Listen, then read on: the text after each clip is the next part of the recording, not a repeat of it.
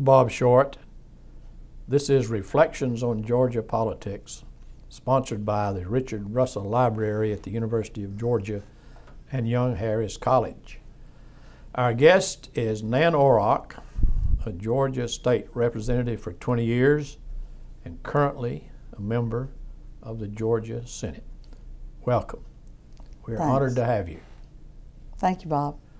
Uh, Senator, before we get into your career as a public servant, uh, let's find out a little bit about Nan Orrock. Well, and of course, the, the lives we live lead us to, on one path or another, and so that my background before I got in the legislature very much informed my decision to uh, uh, throw my hat in the ring for public office. I am uh, the daughter of um, a South Georgia farm boy, and uh, my mother's from East Tennessee, uh, where she grew up on a dairy farm, and uh, in the county where Alex Haley uh, bought his beautiful home by the river, actually from from a relative of of our family, but uh, Clinton, Tennessee, Anderson County, and. Um, my parents, of course, were children of the Depression. My father graduated from high school in 1929 and worked his way through college over at the University of Georgia uh, in the forestry school because he was a great lover of nature and uh, gave us that love as well.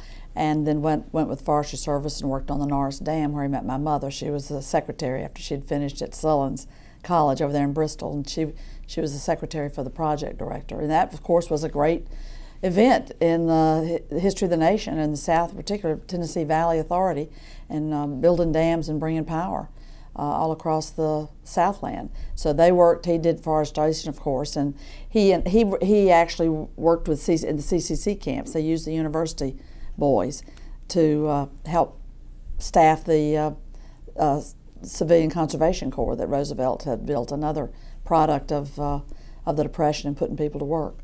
So that was that was background before Nan. They married and uh, settled up in Virginia, and that's where I was born in Abingdon, Virginia, um, over there in Southwest Virginia. So people often detect my not pure deep South accent. It's much more. It's more of a little got a little hillbilly and Appalachian in it from my East Tennessee roots and and start, starting out over there in Southwest Virginia, and um, was uh, one of five children. I was the the uh, second born and the oldest girl, three boys, two girls, and uh, we were raised in Staunton, Virginia, ultimately. And uh, my father went from being with the Forestry Service to being with the County Development Association down in Washington County when, when little counties were trying to hitch up their britches and get their economy going. And uh, Harold got along with everybody, and they, I guess, made him an offer he couldn't refuse. So he, he left a job he loved and, and became a chamber person. because that authority developed into the chamber. And we, so he ran the chamber in Staunton, Virginia for most of his career and uh, later in life. And I, all of us went to schools in Virginia. I went to Mary Washington College and I was an English major. And um, the really life changing event that occurred for me in college was I was working in Washington, as so many uh, young people did. Of course, we were just 50 miles south of Washington, and my aunt was a uh, secretary on the Hill for uh, the congressman from Tennessee, my mother's home state, for Howard Baker Sr., uh, or as they called him, Old Man Baker. so I enjoyed that uh, special opportunity we had as kids to go into Washington.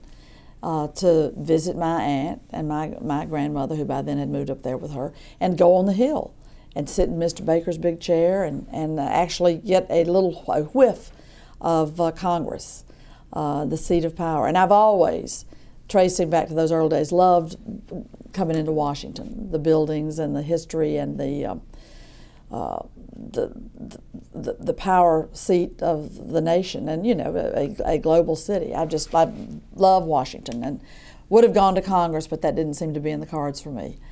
Uh, but I did have that early experience with, with politics, uh, as my, my, my Aunt Margie taking us up on the Hill we um, I went up for the summer to work for the government, got a clerk typist job. I was very proud of my typing prowess. I, I scored 100 words a minute on the federal typing test. So they snapped me right up for the summer. You know, you went off and earned money for to go back and pay your tuition. And it was the summer, the fateful summer of 1963. It was the first time I had, needless to say, ever worked in a in a work setting with uh, African Americans. The lead secretary in the office at NASA, where I was working, was uh, African American, as were many of the, the, the, staff, the clerical staff there. I also met my first uh, true blue uh, Northern liberal, a Harvard educated uh, man who ran our office. And uh, so I was lapping it all up like a month old pup. You know, I was, I was learning and experiencing new things in that setting. And, and that array of people that I worked with every day uh, convinced me I should go to the March on Washington. That was the historic 1963 March on Washington for Jobs and Freedom Now, uh, where Dr. King made his, of course, um, historic speech, the I Have a Dream speech. And I went uh, with, without a, really urged by people who were going. But of course, the news was filled up with how it was. I mean, they literally had people sitting on the porches with shotguns thinking that the blacks were going to overrun Washington and there was going to be race warfare up there. Uh, it, it, turned out, of course, to be a record breaking crowd and a, a, pivotal moment in the, the young and growing modern day civil rights movement. And I was there at that moment in history and, and was profoundly moved by it. Um, it was a, I met people from Danville, Virginia, which is just down the road from Mary Washington College in Fredericksburg, where I was a student, and down the road from, from Staunton, my hometown. And, and met people and talked to them who had been beaten to the ground for trying to vote. And that was, uh, of course, and this was in the sea of people. It was like a glacier moving down Constitution Avenue. It was a, an incredible experience. But then when I talked to people from Virginia, right there down in Danville, and met real live people that I could connect with because they were in my home state. And I realized I was in the in the presence of courage. You, know, and we all read about the courage in the novels that they assign us, you know, in our English classes.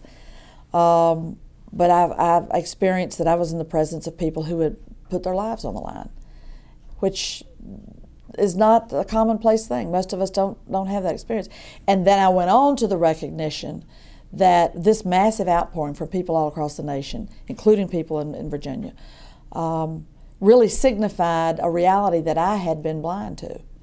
That if if things were so bad that people were putting their jobs, their families, their safety, their homes, their economic security, and their physical safety on the line, there was something terribly wrong that was crying out to be fixed. And I, as a young white Southerner, was oblivious to it. It was out there, but it didn't really penetrate into my world. I, I had the luxury almost of not having to know about that. Uh, there were no, of course, it was segregated society. And, and uh, our little town of Staunton probably had, I don't know, between six, eight, 10% black, and everything was as it was in, in, in Southern society, segregated, and everybody knew their roles, and that was that. So that was an, uh, uh, an awakening for me, uh, and understanding that actually I, I, felt that day, you know, I've been miseducated. I'm a, I'm a college student. I'm studying current events at school. I'm an English major. I love to read. We had seven newspapers in our house all our lives because my parents could never let go the newspaper from the last place they lived. And when my granny would come visit us, she had to have the Washington Post. so we had the Richmond paper, the, the Staunton paper, the Washington Post, the Roanoke Times because we used to live down there in that part of the, of the state, and the, the Clinton News Courier. And Lord, I don't know what else. I probably forgot some others, but we were a newspaper family and a current events family. But I engaged with this massive movement that day that I had really virtually been oblivious to. And um, I, I went back to school. I hunted up the Race Relations Committee that the YWCA had on our campus, and uh, that was a voice of moderation on Southern girls' campuses, the YWCA, because they had committed to uh, uh, combating racism. And so I got very involved and became the leader of the Race Relations Committee. And uh, that's that uh, spring of '64, on Easter weekend, on our Easter break, the Y held a uh, convened us in Atlanta and brought us down from Southern girls' campuses to Atlanta, Georgia, where I saw Dr. King talking about nonviolence in um, the Sunday school classroom at, at, Ebenezer Church, and where I met young students from SNCC, and where we um, did voter registration in part of town called Buttermilk Bottom, uh, where the Atlanta Civic Center is now, and a, an area that I represent uh, as a senator. Who knew in 1964, Easter, when we went out and knocked on doors, voter registration, that, that I was going to ever be asking the people in that area to vote for me. Um, but you can see it was a, it, for me it was a life changing experience. And then I met the SNCC folks, and and and then went back to college and continued to you know involve other other girls uh, in in events. And we um, actually started a tutorial in the black community um, involving girls and working with the black churches and uh, uh, black kids in after school settings.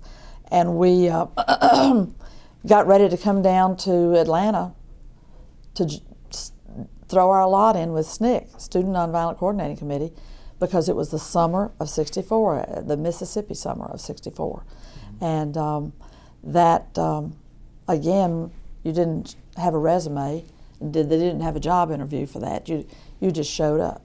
Mm-hmm. And a friend of mine whose daddy was an FBI agent over in Richmond, uh, an Irishman, uh, one, a, fellow student, we came down here, and uh, my father actually drove me down against my uh, my protest, and then uh, learned that I was really going to be much more connected with things that he thought were highly suspect, and that's the whole tale. I don't want to take up half your day talking, uh, but um, he had a chamber event down at Athens. Uh, and so he said, Well, you can just ride down to Athens with me. And I, and I said, Good, now I'm going over on the bus. Well, he thought he'd just drive me on over to Atlanta. And lo and behold, we got to the boarding house in the black community where a friend had arranged for us to lay our heads. And he was just shocked and dismayed. And she said, Well, Aaron's over at the office. And my father said, What office? And next thing you know, he's taken me over to the SNCC office on Hunter Street, now MLK, but uh, Old Hunter Street, right just a block away from the, the black campus, uh, AU campus over there. And walked into the office with me. And everybody knew me from when I'd been down at, at Easter. And he was, and we went down to Paschal's to have Sunday dinner. And everybody was after church, and everybody was there with their hats, and the, the place packed. My father couldn't touch a bite of his food. He was a sweet, uh, an easygoing guy. You know, a, a, lot of dads wouldn't have gotten all the way to Paschal's. but uh, afterwards, as he was leaving, he, he said, I don't know what you're doing. How I've worked all my life to get out of poverty. You know, he was a sharecropper's son. George Washington Grogan was my granddaddy, and they just they didn't have a thing after they lost their farm in North Georgia. And um, he said, and he said, you're running back to poverty. I don't understand this. Uh, so he didn't say something ugly about black people or the black community, but he could not understand it. My mother told me later he she'd never seen him so upset, you know, when, when they talked. But that that summer again uh, shaped me, as you can imagine, mightily. And I was um, working in Atlanta. I walked in, they assigned me to the communications office working with Julian Bond, mm-hmm. who was not yet elected to the Georgia General Assembly, let us say. Uh, little did any of us know. And John Lewis was the chairman of SNCC, and of course he was would later go on to be our member of Congress from Georgia for the fifth congressional district. Mm-hmm. Um, so that was a that was a summer of, of having my eyes open even even more so, and going to jail, going to Mississippi, uh, being in the Greenwood office, uh, taking the reports uh, from the field when we were in the Atlanta office of the cross burnings uh, right after I got there, within a, a week or two, uh, Goodman, Schwerner, and Cheney went missing. And um, there were very few white Southerners involved, needless to say. They had recruited from the northern campuses, and there were huge numbers of white students and African American students coming down from the north, and they were oriented up at uh, Yellow Springs, Ohio. I didn't have the benefit of any of that. We just showed up, ragtag, and walked in. And Julian found out I could type, and the next thing you know, I was typing the a big study that had been done on the conditions of the Negro in Alabama. Uh, again, learning every minute. Uh, but I, I, I that that movement really reshaped uh, who I was and how I understood the world, and a belief, and you know, gave me a belief in ordinary people, uh, their right to be heard, and their ability to change history, and that ordinary people can find within themselves the bravery and the courage to step up and do extraordinary things. And of course, the, you know, was in the presence of, of uh, incredible leaders like Dr. King, um, but also the folks on the ground, right at the grassroots, which was kind of SNCC's real. Um, but that's who the movement was. It was it was ordinary people mm-hmm. who said we're going to change this place. So that was my summer. And then I, I, my mother found out I wasn't planning to come back to college because I was dedicating my life to the civil rights movement. And Jim Forman, who ran SNCC, said, "We'll pay. SNCC will pay your college later. Don't don't leave now." and my mother had the good sense to send somebody down to get me. so you finished and, at Mary Washington. That's right. So I finished, and that next year was a year of activism, and we organized in Virginia and organized a civil rights project with SNCC's help in the Black Belt counties of Virginia, bordering North Carolina, down there where they raise the peanuts and the and the uh, pigs, you know, the pork. Mm-hmm. Uh, very a very uh, benighted area of the state. And uh, I lived there for two years running a project and bringing Virginia college students, black and white, down to do voter registration and community organizing. And um, then um, married a boy who, from Georgia mm-hmm. and uh, worked in the Southwide student movement. We built a, a, a, group to work on the white campuses to be um, a haven for um, moderate white Southerners who felt they had no nowhere to go if they held any progressive views. And that was the student, the Southern Student Organizing Committee. So you moved uh, to Atlanta. Moved to well, moved to ultimately moved to Atlanta uh, in '67 uh, after working with labor in uh, North Carolina. Uh, my husband was uh, Gene Guerrero was very very involved, and we became involved in working with labor and bringing students into the support of labor. And that's the first setting where there were black and white Southerners working together to build an organization. You know, uh, we were in Whiteville, North Carolina uh, and uh, a big strike that the Textile Workers Union held. So I was just, was, that was great for me because that got me back in touch with the plight of white people who were also have nots mm-hmm. and fighting for a voice, fighting for job security and, and the ability to make a living. And it was it was a real another another history lesson to see African American workforce who came out of the fields of North Carolina and out of the NAACP working side by side with whites who came there out of the Klan in their first factory jobs and together building a union. So I had uh, my eyes, a, a great, a wonderful learning curve, and, and essentially, Bob, it was uh, participating in the, the mass movements that were sweeping this country in the 60s because then I got involved also in um, having the voices of women come to the fore because women in SNCC got together and said, we're doing all this work, but when press conference time comes, it's all the guys standing up talking. Mm-hmm. And that was my first uh, inkling that there was something that needed to be fixed for, for females. I hadn't been able to go to the University of Virginia where I wanted to go because girls were not admitted. Mm-hmm. You went to Mary Washington College uh, down the road, uh, I guess 40 or 60 miles, because that's, that, was the, that was the women's college of the university. Mm-hmm. Um, so I, I, I, was I'm a product of those movements of the '60s. I would say a product of the South, but a product of the progressive social movements of the '60s mm-hmm. around labor and women and and uh, African American uh, uh, agenda. So we came in '67 because my husband had to return down here to. Uh, he was not. He was a conscientious objector, and he was not going to go be drafted into a war, and they denied him his status, and he had to go to come down and go to court that's why we moved here because he, he, had, he, was, he was an Emory graduate. Mm-hmm. And, um, and he was registered here. He, he was raised here. And uh, that, that brought us in 67. And a few months after we got here in 67, with other, we found other friends and we uh, launched uh, an alternative newspaper. The Great Speckled the, Bird. The Great Speckled Bird. Uh, from an old song that Roy Acuff sang. Mm-hmm. Uh, do, you, do you know that song? Yeah, Great Speckled Bird. Yeah, I mean, I mean, most people don't know that song. Right. But I went into the Ernest Tubbs record shop last time I was in Nashville, and it was playing on the on the PA system. What a beautiful uh, thought I'm thinking. Um, the bird that was despised by all around them, but uh, they were still going to speak the truth and stick to the truth. Mm-hmm. And um, we launched that paper, and uh, were a feisty crowd of, uh, and, it, and that was at the time that this counterculture movement had begun to emerge around the country of uh, alienated youth who wanted, uh, who saw things differently, and some of them thought rock was the revolution, and and and the whole drug scene, all of that that, that, that that's uh, now part of American history. Flower children. That's right, the Flower Children, and right here in Atlanta, we had our office. Uh, on right, the strip. uh-huh, right down from the strip, which was a devastated area of Peachtree where all the merchants had fled, that now today is is booming Midtown.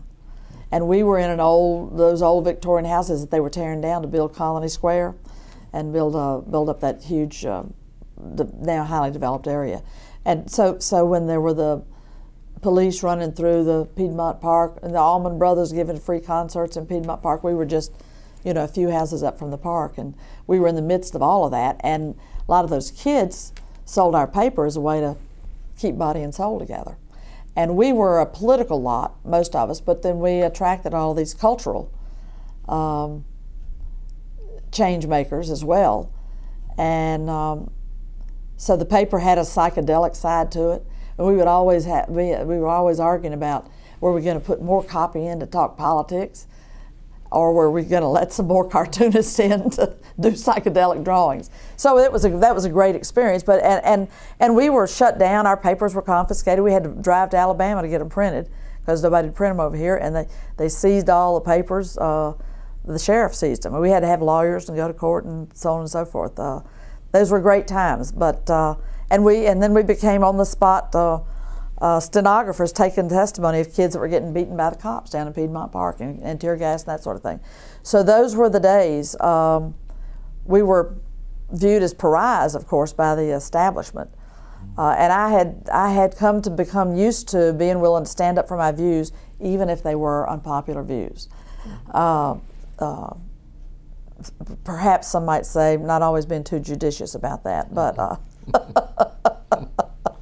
Did you ever think at that time that you would one day be a member of the Georgia General Assembly? Not a thought in the world. Not a thought in the world. And John Lewis and I laugh about that because I mean, you know, I remember vividly times you know sitting in his little apartment or the and they really they were group apartments because you couldn't rent an apartment for everybody so there was one for the men one for the women and and listen to the supremes that were just a new big thing motown was coming out of detroit and and, and we John and I laugh and think back and say, but we didn't have a, any idea in the world I'd be in the Senate and he'd be in Congress. Well, Julian didn't. Julian Bond, who became an iconic figure right here in Georgia, had no idea that he would be taken on the Georgia General Assembly and taken him to the Supreme Court to get a seat over here after he's elected three times. So no, no idea. And and my father, can you imagine, coming from a you know humble beginnings as a sharecropper kid, no idea that that's what was uh, lay ahead in the future. But the, but the, but you can look at it all and connect the dots, and it and it all makes its own kind of sense. Uh, I got involved. I worked at Nabisco here for 17 years um, as a line worker, and we were, I was working to help reform the union because it was very racist, didn't represent the African American workforce, uh, and I and um, I was I was uh, working at Nabisco, lived uh, settled here in a great community, Ormwood Park, back when houses were dirt cheap because of the white flight and the changing neighborhoods, and you know all this great old housing stock down here was considered non you know just uh, people fled and left Inman Park, and Grant Park, and Ormwood. Well, they didn't leave Ormwood so much, but uh, all these neighborhoods that were that had the white flight syndrome. So I bought. We bought a house in Ormwood Park, and I've been in that house now for 34 years. Um, and it was there that I, when I had after I had my second child, we all got busy working because they were going to put in a. The railroad was coming to town. They wanted to bring tractor trailer trucks down these old historic neighborhoods down Boulevard and come and bring them in off the interstate and put in a piggyback facility, a thousand tractor trailer trips a day coming down by Oakland Cemetery. So the battle was joined, and I became a leader in, a, in a, on a neighborhood issue, not in my backyard. And we had all these great sites where the railroad ought to be out in the county in a rural area, in an undeveloped area, not rumbling down the streets of downtown Atlanta with all this valuable real estate and all these people investing their money to bring back these neighborhoods. So that went on for, we formed No In Town Piggyback and took on the railroad. Mm-hmm. And I felt it was, I did that, I was, I was still nursing my second child and I weaned him and said, we've got to roll up our sleeves, we've got to work. Because they were using a racial wedge in our neighborhoods. They had a, a black city council person introduce the legislation. And they were going to be in there in two months' time over there in Cabbagetown, Reynoldstown, the old uh, whole, the old cotton mill, mm-hmm. Fulton Bag Mill. They were going to be in there in two months' time with this facility, with no protections from the, for the neighborhood, no barriers, no no amenities, and uh, they promised black leadership in the black community. We're going to bring you jobs, and we're going to buy you a community center. We're going to put in tennis courts and a swimming pool. You never had it so good, and the white pioneer uh, buyers that were buying these old rundown houses and fixing them up and, and saw a future in building the, up these neighborhoods uh, were not consulted. And so you had, they were outraged about what was going to happen to their property values. Afri- African American leadership, living in deprived communities without enough resources or jobs, thought this was manna from heaven. So I saw the makings of a, a racial wedge that would split those communities for Lord knows how many decades. And that's when I said, I've got to get involved in this because it's got to be people that can talk and speak and build alliances in the black and white community. So that I, I did that for two years. And after that, people said, You need to run for office. And I said, No, I need to go home and tell my three year old where I've been for two years and clean off my dining room table. you, know, you know, the dining room table becomes the organizing base.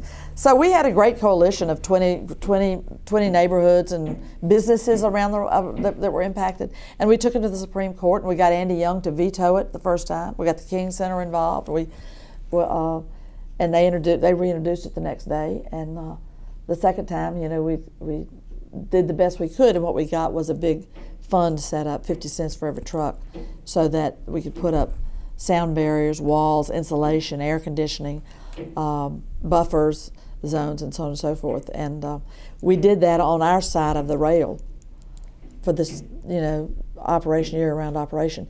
And on the north side, they were busy fighting on the Presidential Parkway. And they were they, they were too tied up to deal with the with that Hulsey. And so the north side didn't get any amenities. They didn't get sound barriers. They didn't get any of that because uh, we were the neighborhoods on the south side had organized. So, uh, and that, and you know the cemetery wall fell down, Bob, just like we told them it would, and the kids started coming down with asthma, and they've now found out that that particulate from the those truck fumes is one of the you know a major source of respiratory illness and asthma. Uh, very dangerous small particulate. We had sound experts and all of that. So we went at it, and in the course of time, I came to see that there were people on the city council that weren't really there to represent the best views of their, the best interests of their constituents.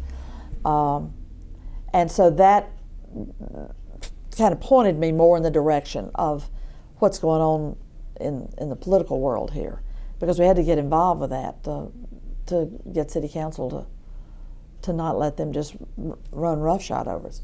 So I said later the railroad would rue the day because because they did that, I wound up in the General Assembly because people said, "Oh, you should run," and and a, a, a legislative seat was being vacated by Paul Bolster. Mm-hmm. Uh, he had uh, gone to law school. He was a neighbor of mine. Had gone to law school, and and uh, his law firm said, "No, we want you full time. You're, you're not going to give you this job if you stay in the legislature." Which I thought was foolish of them, but it worked for me because it, there was a seat open, and they people got, came to me and said, you should run because you've organized all these neighborhoods. You have support in the black and white community. Uh, you've got good ties, and you you can do this. And I said, I'll just help you all I can find somebody. I, I never thought about running for office. And they say most people, most women, uh, run for office because someone asks them, but men get asked a lot more than women do. And people really did ask me, and said, We'll do everything for you. We'll work. We'll raise your money. We'll show you how to run a campaign. And that's when I went down. I went down after three months. I thought about it, and I, I started knocking on doors in 1986 in January, right after the holidays. Mm-hmm. And the fellow was John Sweet, who was had been on city council, and he took me out to knock on doors. He had been a Vista worker in those neighborhoods over there when those old, when those beautiful Victorians that are now multi-million dollar mansions were uh, renting by the week, and he bought. You know, bought a house over there and got some other people too. So he took me the first door he knocked on. He said, uh, "I want you to meet Nan Orrock. She's wonderful. She lives down here in Norwood Park. She's been fighting for our neighborhood. She'll be a voice for us for the next ten years over at the Georgia General Assembly." And I said, 10 years? I didn't tell anybody I was 10 years. I about ran back and got in, you know, got in the car. I didn't. and I had to laugh when my 10 year anniversary came in the General Assembly. I remembered that. How the notion that I would stay there 10 years was just beyond the pale. And of course, now I'm working on my uh, 13th term, mm-hmm. 20, 26 years. Mm-hmm. Um, so I ran a race and had a runoff and learned an awful lot. And every day I said, "This is all a big mistake. Let's uh, everybody, y'all go back to whatever you're doing. I can't win. I, this race is lost." No, and they'd say, "Ignore the candidate. We're moving on We're running this race." So I was somebody that really did. I've laughed about it ever since. I really had to be talked into uh, doing this. Well, you certainly were not the uh, ordinary, traditional Georgia politician when you arrived at the uh, at the legislature. That's true. You had a lot of experience, community experience. And uh, what was it like being a freshman and a woman mm-hmm. uh, in the legislature at that time? It was uh, it was a real it was a real eye opener. You can believe uh, because I, I, wasn't somebody that had prepared myself uh, consciously for elected office, and uh, and I was a young mother and actually, by the time I was elected, I was uh, a single mother. Uh, my former husband and I were, were, raising our children with joint custody, but uh, and, and he was completely helpful. Was a wonderful dad, and we're dear friends. Um, but it was uh, that was a little bit different as well to uh, to have young children, so young. They were three and eight. Uh, Danny and Jesse when I was elected, and um, I, it hit me like a brick wall that all of a sudden I was plunged into a, a group of 235 politicians, with everybody elbowing to get their agenda done, and and uh, promote themselves and get you know gain a power position. And uh, I had come there as an idealist, uh, and not not at all for self, but really as uh, that the community needed a voice and little people needed a voice and um, that and that we needed people in public life that were sensitive to uh, bridge building between the races and could you know stand up for everybody having a seat at the table. That's how that's what that's the outlook that I came there with, and it was a rude awakening to see that everybody didn't share that outlook. the other thing is that I, I tend to very much uh, work in groups and work collectively and collaboratively and figure out things together. So it felt uh, very lonely. There wasn't a crowd here that we were all figuring this out together. It was kind of every man for himself.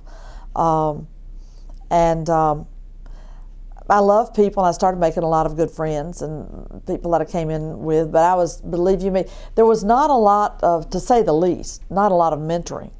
Now, through the years, I would come to see somebody um, get elected that really didn't seem to bring a lot to the table, and they would be just swept up by the boys, you know, and taking the dinner to the steakhouses and sharing cigars and guffawing and just, just uh, the the the belle of the ball. All they were they were all guys. There were no bells. There were the guys of the ball. And I thought, what what do they see in that guy? And then I, I came to say, well, they really he's kind of like them. and he'll go along with me. He didn't bring he didn't come here with his own ideas. He just he just came here to get along and go along. And that's what they would like folks to do. That works well for the folks in leadership. Um, and um, Mr. Lee, I was up talking to the Speaker Murphy one day, who I did have the sense to go down and meet and talk to before I was sworn in. And that was my first time meeting him. I had so much to learn when I got elected, so much to learn. And since then, there, there's, more, there's more in place to share information. Uh, but you know that was 1987 when I was sworn in, and uh, there were a handful of Republicans. I, I, I, like to say 20 Republicans. I, ought to go back and research it, but it was a handful uh, of Republicans. Kil Townsend was here. Uh, Johnny Isakson, Paul Coverdell, all of all of Bob uh, Irvin. Oh, definitely Bob Irvin. Yes, yes. Um, but a but a but a relative handful compared to to the uh, massive Democratic majority, and um, I, I really I really uh, enjoyed my connecting with Speaker Murphy. I really I liked I liked him. I mean he's he comes across as, as rough and curmudgeonly, but um, just in, incredibly savvy, and also truly had uh, a heart that could be touched for the plight of the little people. I mean, he really was, uh, in my view, an FDR Democrat. Um, and his daddy, you know, was um, a railroad. His daddy, his daddy was on the railroad and was a Union man. So that's an unusual experience for somebody to have in the South, to have a direct, uh, in those days, a member of your family in the Union. And I always chose to believe that that also informed Mr. Murphy uh, about how he did his job and how he saw the world. Mm-hmm. And he had a brother who was disabled, and uh, and he had a very uh, personal understanding uh, about the, the challenges of disability. So I, I, I would get mad at him from time to time, and we had our tussles and our, our trials. But on the other hand, I, I felt that he uh, he always had an open door, and and you could, and all these are things that I learned over time, and and that you could go to him, and he was going to do his best to come up with some response. Might not be everything you wanted, but he was going to. And Denmark Groover was the same way. And I really, I really admired Denmark Groover's uh, smarts. You know, he was just and his incredible work ethic. You know, he'd be up there before daybreak practically, uh, up there on the fourth floor reading every bill, knew every jot and tittle of everything that was down on paper, and uh, he was an incredible resource. And we haven't seen anything like him since then, in my opinion, when I look at all the folks that have come forward, the, the whips and the leaders uh, since then. I mean, he was, and ironically got beat by a young female and, and refused to campaign, said if the people don't know what I've done for them by now, it, I'd be wasting my breath to go out and try to tell them. Mm-hmm. And, and, and, he didn't campaign and got beat as, as history moved on. But um, I, I do remember a, just a real feeling of, of isolation uh, because there wasn't a group. And I really got busy building a group ultimately within the next couple of years. We had formed a women's caucus, and there's a whole tale behind that because when I got there, Dorothy Felton from Sandy Springs was there, uh, uh, a uh, Republican woman who didn't um, bite her tongue. You know, she uh, she went ahead and said what she, whatever she believed, and she had had uh, gotten together a, a small group of women to go to lunch, Democrat and Republican, and they all told me the the, the women from both parties that they the, the Democratic women had been told in no short order, you don't carry on like that with the Republican women. We don't want to hear any more about this. And you know you can be taken off your committee. You can you can you can be dried up and have nothing if you keep on over there playing footsie with the Republican women. And this was just going to lunch. So the Democratic women were very wary uh, of uh, crossing that line. They'd, they'd been given a warning. So the first time a woman became, uh, Fran Hesser was hired to work for the oil lobby. She'd been a journalist over here covering the legislature and, and had built, you know, big ties, knew everybody, and, and she transitioned over into that lobbying role. And she said, Nan, I finally got a credit card. Let's take the women to dinner. And uh, I said, that's a great idea. And we organized it. And we went out to just like the guys did at night, you know, because you will notice that those dinners in the evenings would be very devoid of women. I mean, that's just, that's the culture, that's the way it was. Uh, you didn't get taken to lunch, you didn't get taken to dinner with any big regularity for, for the most part. Uh, but those were going on night and day, you know, the social gatherings. So we all went to dinner, and Republican and Democrat, and started talking about our bills and what we cared about and what we wanted to pass and what we were against, and had the best old time that we realized we were creating a, a safety zone where women felt like they got more out of it. They got enough out of it that it was worth taking a little risk. And it was very, but it was very, it was just in the culture of the Capitol. We're going to dinner with a lobbyist. So we did that uh, and made it sort of a regular thing. Did it one year, then did it the next year and uh, with my view all the time of let's build building a, get bringing us to the point where people can safely say we're going to form a women's caucus. And uh, first, Jeanette Jamieson advised us, let's don't call it a caucus, girls. Let's call it something else, like a coalition or something, uh, or convening. I said, Jeanette, you, you're the you're the expert here. Uh, she's from Toccoa. I said, uh, that's a good idea. So we called ourselves just a very informal women's committee or something like that for a year, and then we had enough of a safety zone, safe enough people felt safe doing it, that we went ahead and, and uh, organized the women's caucus, and that would have been probably 1990, something like that.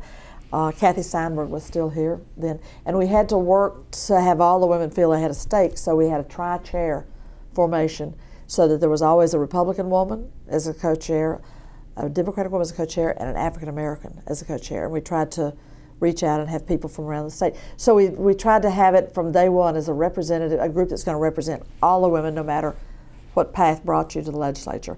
And we were going to work to make uh, to support each other to be effective legislators. We were going to work to put women-friendly policy and family-friendly policy in place, and we were going to work to urge other women across Georgia to get involved in politics. So that caucus exists today. Now, uh, 20 years later, we have survived, and many many women's caucuses don't. They fall apart around uh, some partisan issues. Uh, we agreed that we wouldn't do it, work on anything unless 80% of us agreed with it. Mm-hmm. Uh, so we worked by consensus, and we we had victories. We passed the bill that provided that in Georgia we were going to have a standard for insurance companies to cover mammograms, Pap smears, and PSA tests, the the uh, prostate cancer test, and and and uh, we passed it in the House. Of course, we were strong in the House, and Buddy Childers uh, was our health committee chair. We went to him and he said, "It's a good idea, and I'll tell you what, you put prostate cancer testing in there." We'll get these men on board and I'll go to the well for you. We said, buddy, that's brilliant. So we put that in the bill, and uh, Mabel Thomas carried the bill. She was the lead signer on it. And when it got to the Senate, we, of course, got wind of the skullduggery of the uh, insurance industry. And uh, we decided, well, this will not stand. And two people, Mark Taylor and Egan, Senator Egan from Buckhead, a Republican and Democrat, had the amendments to gut the bill. And honey, that thing came on the floor. Well, we, boy, we got around over there in the house and we said, we're going over there. And we took, all the women took off and went across to the Senate. And you know, the Senate's a tiny little chamber compared to the House and we started. We hit. The, we got there, and there were like Senator Brown was out at the ropes. Louise McBee from Athens pulled on him.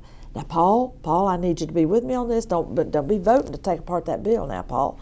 And he just looked right wide-eyed. You know, this was quite something for all of us to come over in mass, and we we ringed the, the, the wall of the chamber. We lined up the wall of, all around, and now legend has it, and some good historian like you, Bob, ought to tease this out, that the speaker went with us. I don't have that memory of the speaker going with us, but but I, my memory's not not perfect, and it's been told so many times by so many people. It is a strongly held. It's an urban myth, or it's the truth, that he went with us. And it's not. He could have. He could have. It's not. It's not out of the likelihood that he would have done that because we kept him in the loop all the time. And that's how we got it through the House. You wouldn't have got it through the House if the Speaker hadn't supported us. Mm-hmm. Uh, and I don't think we had an opponent uh, in the House. I, I, really, I think we.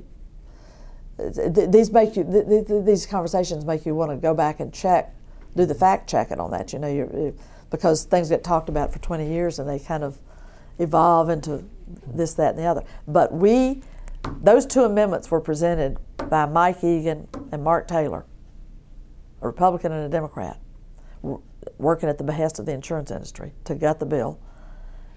And those amendments got two votes each. They voted for each other's amendments. and Paul Brown went to the well, and Paul was fairly elderly by then. Um, this had to be early, it was probably 91 or 92. And um, he um, he actually broke down. He said, I never go back on my word. But I have been asked by Ms. McBee to support her, and she never asked me for anything. That's not a good idea. But he he was boo-hooing because he had to cross the insurance the lobbyist that he had told he would vote for it, and he, he said, "I don't do that. I I'm a man of my word." But this time, and I go to I'm going to the well to explain why I'm changing my vote. So we we we we we, we, uh, that was a great day. That was a great victory and a great testimony to why you organize to get something done. And we've we've continued. I mean, I could I, I could uh, talk till uh, the sun goes down about all the things that we've gotten passed over there. And we had a victory this year and they put it all up on the news because it was a Republican and a, fem- and a, and a Democrat working together. Senator Renee Unterman from uh, Loganville and I worked to block a bill that had the major backing of leadership. It's the insurance industry's dream, and it was to say we can sell insurance across state lines.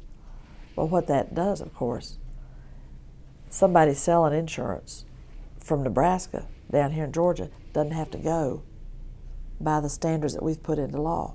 And that standard that we put in was the, just the first one. We went on to cover autistic children, to provide for a 48 hour stay for women and children, newborn infants, and an array of mostly, uh, largely health related things, but also Mary Margaret passed an early bill before we did that one about uh, Mary Margaret Oliver from Decatur uh, had a great bill when the first child care money from the federal government came down. Now, now we take it for granted that the federal that there's federal money in child care programs.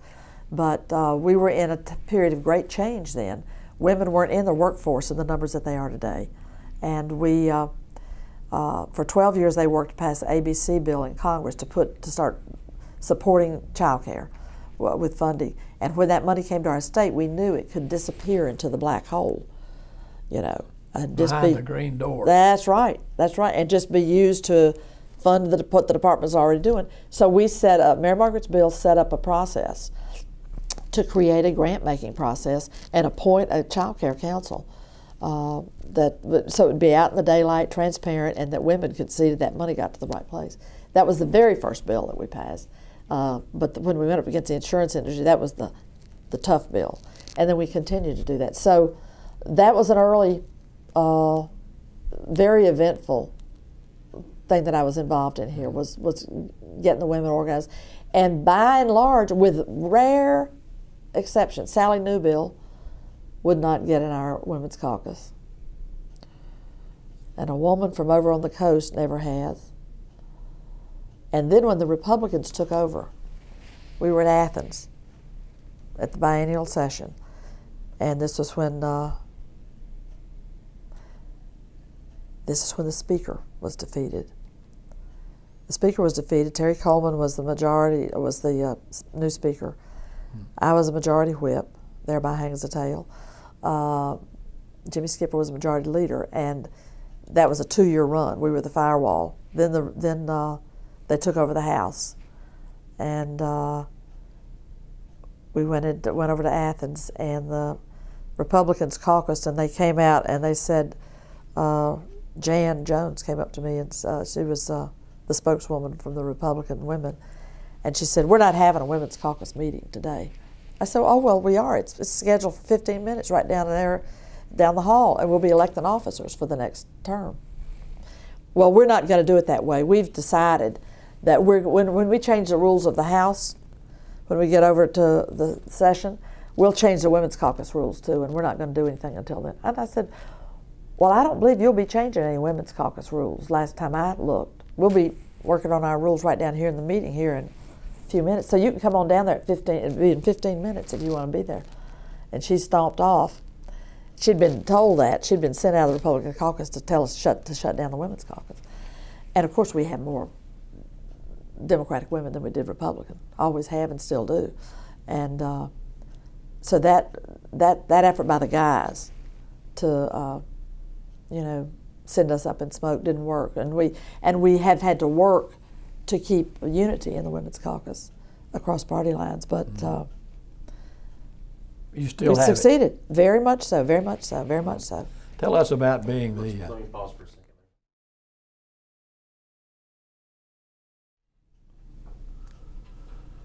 You served as a floor leader for Governor Miller. I did indeed, and that, of course, is tied to another piece of Georgia history.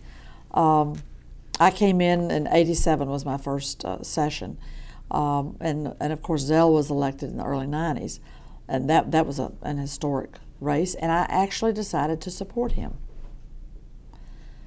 Um, and was glad that I did, and thought it was remarkable when he spoke his inaugural address at Georgia Tech um, that January. He proclaimed that he thought uh, racism, the issue of race, was a, a, big challenge to Georgia that we needed to get beyond, and that we would prosper as a state and as a people when we laid that to rest. Um,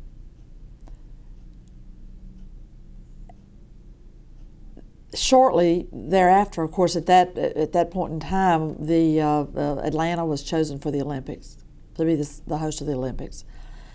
The business community, uh, many people had talked about the Confederate flag still waving as our state's uh, official state flag, having the stars and bars on that, and that that, that that time was past and we needed to do something about it. And uh, at a certain point, I, I, came to learn later that, uh, well, one day I was in the fiscal office on the fourth floor, and Dubose Porter walked in, a dear friend of mine from Dublin, and uh, he was he was here when I got here. He walked into the fiscal office. I said, "Well, Dubose, what on earth is happening? What's going on? Tell me some news." He said, his eyes were popped this big. He said, "You want to hear some news? Zell Miller just announced down on the second floor. He held a press conference and he announced that he's going to change the Georgia flag. That's the news." Mm-hmm. Dubose's eyes were popped. I said, What? And later, come later to find out, the business community, there had been discussions and said, This, you know, the Olympics are coming. We're going to be on the global stage. Can't we get this uh, flag, this remnant of a, of a, you know, segregationist past, can't we get this down off the state capitol?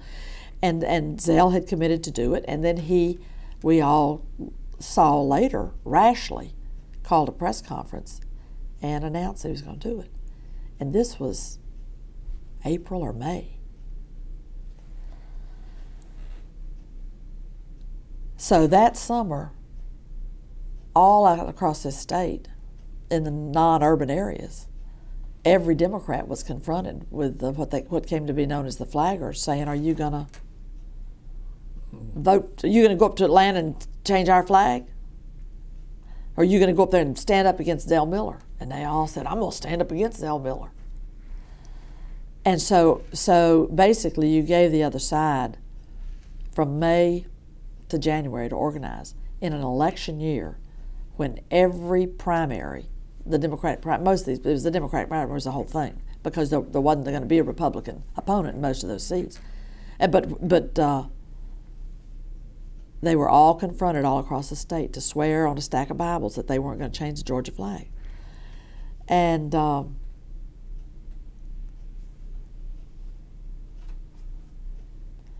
I'm trying to sort out the order of these things. Um,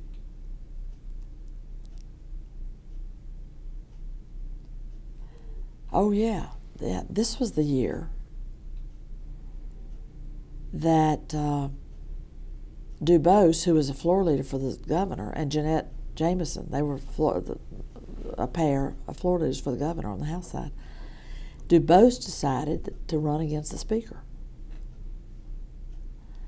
to be the new speaker, to defeat Speaker Tom Murphy in the in the caucus.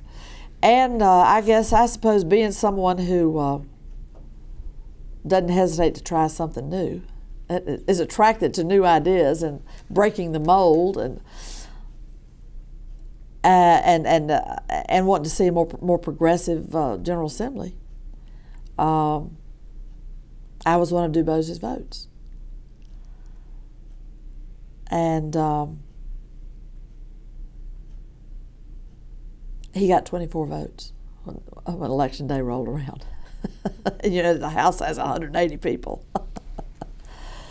I thought, mm, I thought Dubose uh, had a keener sense of how these things were going to go. I didn't realize it was going to be a debacle here.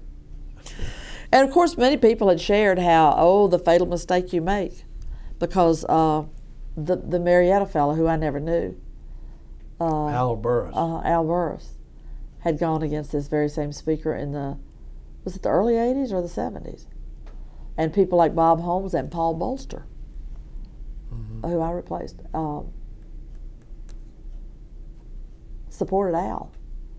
And they were in the doghouse for a long long time. In fact when paul left the general assembly he said to me he said you know my, my, my, my law firm wants me to leave anyway but he said I don't think I'm ever going to get anything done. I, the sp- speaker still hadn't forgiven me, and this is 1986. uh, so I was forewarned. I can't say I didn't know better, right? But at any rate, that fall, they, they, they, the governor's floor leaders, ran against Murphy. And of course, there was this historic rift with Murphy and, and, uh, and Zell, this, with uh, Speaker Murphy and uh, Lieutenant Governor Zell and um, and it continued on when Zell was elected governor. And uh, oh, how they loved to fight! I swear they loved it. Um, but um, Dubose and Jeanette could not continue to be Zell Miller's floor leaders when they had run against the speaker. They were dead meat. Yesterday's news. There wasn't any way for them to have a relationship, to be a bridge between the governor and the and the leadership of the House. So they had to hitch up their britches and move aside. You know, they had to step off that stage, and Zell had to get new floor leaders. Well, bless Pat. We were going into a session, you know, in a couple of months, or yeah, one or two months, to debate the Georgia flag. Now, who do you think wanted to be a floor leader for the governors when they were going to have to do that bill? Uh, Jimmy Skipper was asked. He turned it down. He said, he's from Americus. He says, no way I can do that. So he ran through all these people to be his floor leaders, and they all turned him down.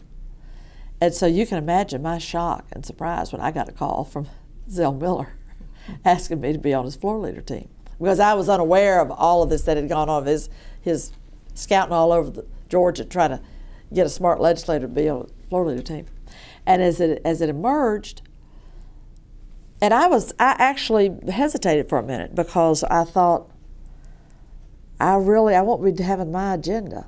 You know, I'd be casting my lot uh, with somebody else calling the shots. And I'm, I'm independent minded. I had to think about that.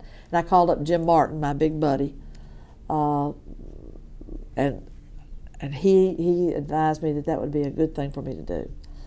And uh, Zell called back and said, "Hadn't you made up your mind yet?" And I said, "Well, yes, I'll, I'll, I'm happy to accept, Governor. Honored, honored to do it."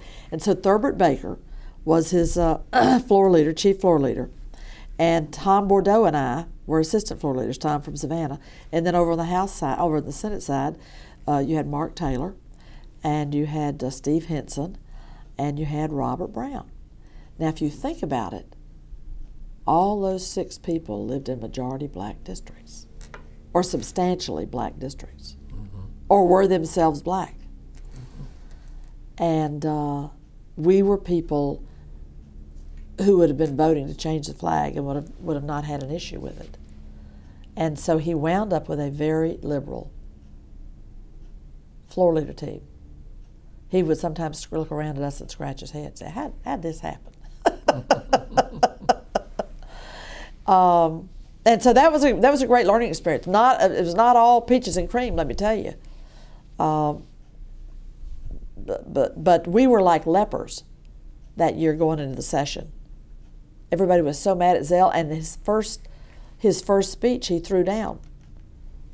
You know, when the governor comes up and speaks to the legislature, he threw that out there.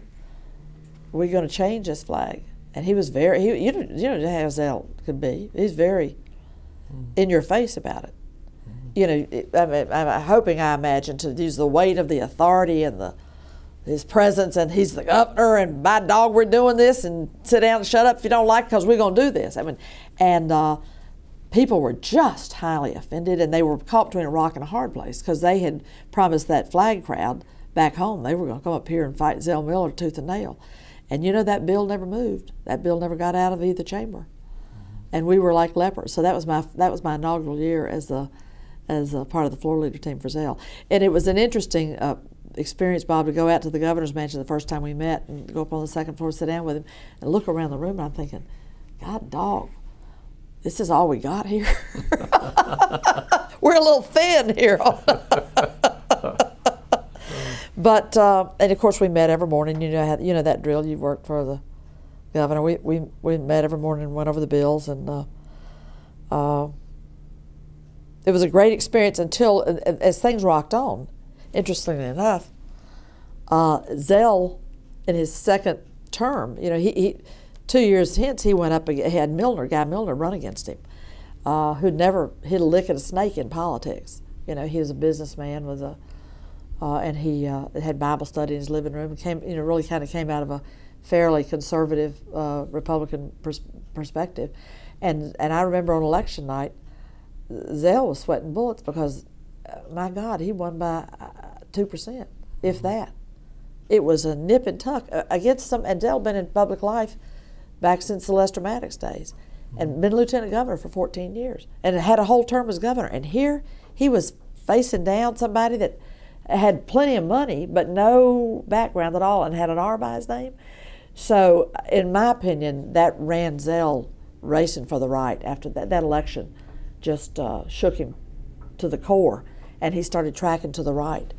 And he did some things that we were really uncomfortable with as floor leaders, like taking apart the state merit system Mm-hmm. And uh, when uh, Tom Bordeaux and I said, you know, we checked in with Steve Wrigley and said, this is really not the right thing to be doing. I mean, the whole purpose of a merit system is is to take politics out of the hiring and firing of, and managing of state personnel and try to have it be a clean process.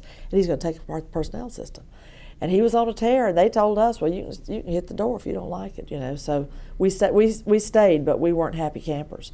So, um, but you could you could see him, and, and ultimately, he he so much stopped going against uh, more conservative Democrats and and became that way that. Uh, he decided that he should just let the floor leader, let, just let the, the Democratic leader and whip do his bills. Mm-hmm. And we were virtually at the end that last year, really not, really barely functioning as floor leaders because, and we'd complained to him about it. So he said, How did I get such a liberal crowd? Well, he had changed. You know, we hadn't changed, he had changed. And, uh, and, and, and, and the politics of the state were changing. Uh, so that was a it, it was uh, there's plenty of tales to tell from that era, but uh, and and early on Zell was great. You know, when I first I introduced a bill to do um, family medical leave. I've always worked and connected with progressive policymakers and and policy thinkers around the country. I never uh, was happy to just stay smothered down in Georgia because there were people out there trying to move the country in a progressive way and do policy. And a good example is the Center for Policy Alternatives out of Washington was encouraging legislators and helping them with attorney help and so on uh, to uh, uh, push forward family medical leave, get bills introduced and, and spur that debate and try to get state bills to provide to reflect the new needs of America's working families because now everybody's at work. There's nobody at home, and you've got to you've got to balance your family and your and your workplace roles. And uh, having the having a friendlier family friendly workplace, we needed to go in that direction. We were at a societal change. You know, we'd moved from an old model with the one breadwinner and the mama at home with the kids to a whole new day when 66% of women with children under under a year old were in the workforce new day. Um, and uh, so I, when I was doing that bill, I started out. Uh, I could be accused of naivete uh, at more than one point in my legislative career. I'm sure. I mean, thinking that this is such a good bill, everybody will love this. and uh, I kept running. That thing wouldn't move, and it kept. And it turns out that the personnel the head of the state merit system was running around with the, you know, you run around with a little piece of paper in your breast pocket that you men folks do, mm-hmm. and they pull it out. Bill Lee, they're famous for it. Pull that thing out. That'll never work because this will do to and put it back in. They go on, and then that becomes the mantra. That's the echo chamber. Everybody picks up what Mr. Lee read to him off his little thing.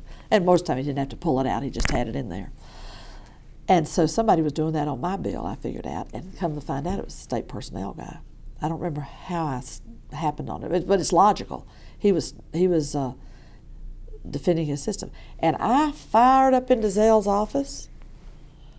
And I was not a floor leader then. I and of course I had backed him, and he he was he was appreciative of that. You know, I fired up in that office, and just you've got to stop this guy. He is running around here. He's trying to kill my bill. And uh, boy, Zell got right on it and set us up a meeting with his lawyer, Cindy Wright, who's a Fulton County judge now, and had that personnel director, uh, the head of merit system in there, and had me in there, and got him set down that he was going to be on our side on this bill. And so Zell Miller is how I got past. It was the strongest uh, family leave bill in in the, in the South, bar none, uh, and it's because I flew in there and you know because I came I came to the battle. I joined the battle. I did not just creep away when the guy was thwarting me and going to everybody behind my back, but. Uh, and then also on the hate crimes bill, I introduced the first hate crimes legislation in Georgia. Uh, and and uh, we had battle royal about that because of course the the uh, and we've I mean my gosh we've gone light years ahead since then. Back then people would get in the well and, and, and talk about queers. You know this this fellow from Gwinnett County uh, would call it the queer bill because we were gonna we were gonna include sexual orientation as uh, you know, along with uh, along with gender and, and race and ethnicity and religious background and nationality, uh, that if you were good, if you were if you were uh, attacked, if you were if, if, if, if you were the the subject of, of an attack on the, that was waged against you on that basis, that that was a hate crime, and we needed to take and those those are crimes that are designed to terrorize whole communities. You know, it's a Klan it's a Klan type sort of thing where don't any black people show their face around here or you get it beat in uh, or don't move in our neighborhood or you'll have a cross burned. So it, it was it was um, and I was working with the Anti Defamation League. There was a lot of support around the country. We were introducing bills.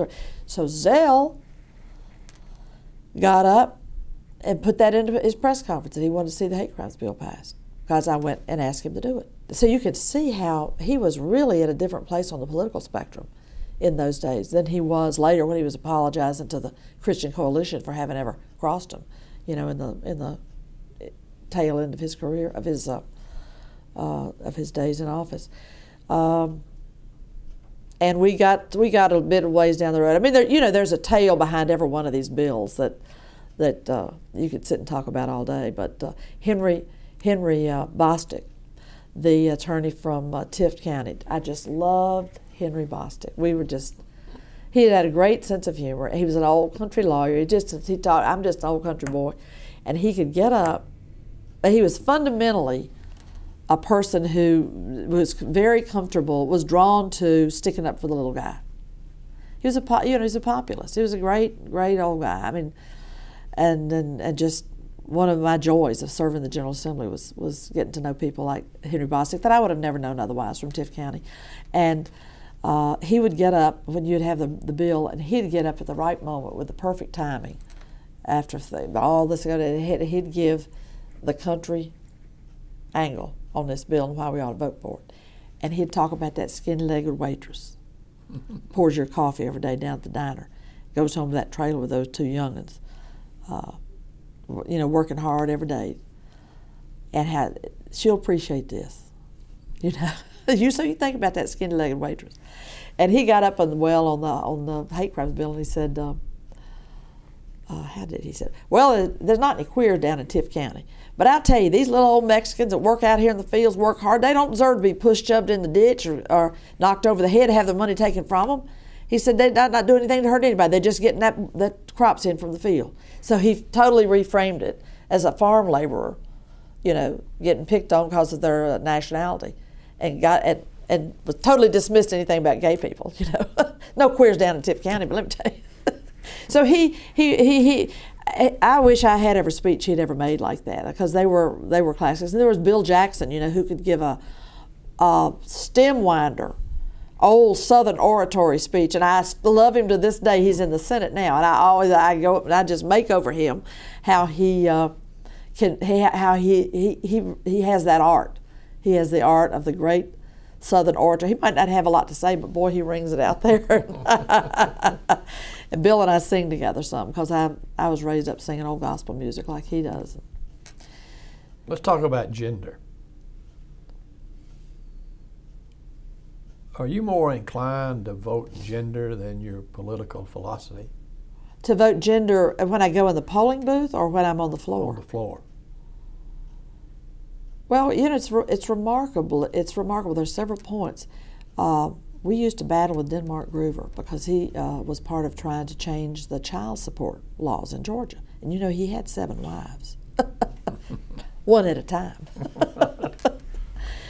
and uh, and you didn't want to have to go up against a constitutional lawyer from Macon, Denmark Groover, on flat out law. I mean, you know, that's down in the weeds of the, uh, what's in the law book on, on and very, very detailed. And uh, and he could, because he could just whipsaw you. But the first time they tried to do that, it just came out of it just came up on us. Just you know how bills just hit the floor and you weren't looking, didn't know what was on the calendar or something. And all of a sudden, here we are with this daggone bill to change child support and disadvantage. Uh, the, the, the mother and the children. And um, when we looked up at the end of that debate, but Kathy Cox was a was a warrior in that debate. Uh, they used to uh, Billy uh, from Macon. Um, I can't think of his last name now, but anyway, the judge. He's now a judge. Billy Randall uh, called her our general. You know, because she and she was an attorney. It was very. It made a real difference to have uh, women come into the legislature who were attorneys, uh, who could really, you know, take the battle sometime to a different level because they, they absolutely knew the law book. They could they could engage with a lawyer trying to pass that bill as a lawyer, and give us a lot of leadership. and Kathy Cox was one of those women. Um, we looked up at the board, and every woman in the room had voted against that bill, and we hadn't caucused together, made any plan. Much as I talk about the women's caucus, doesn't mean we were always on point. They catch us asleep at the wheel a lot of times.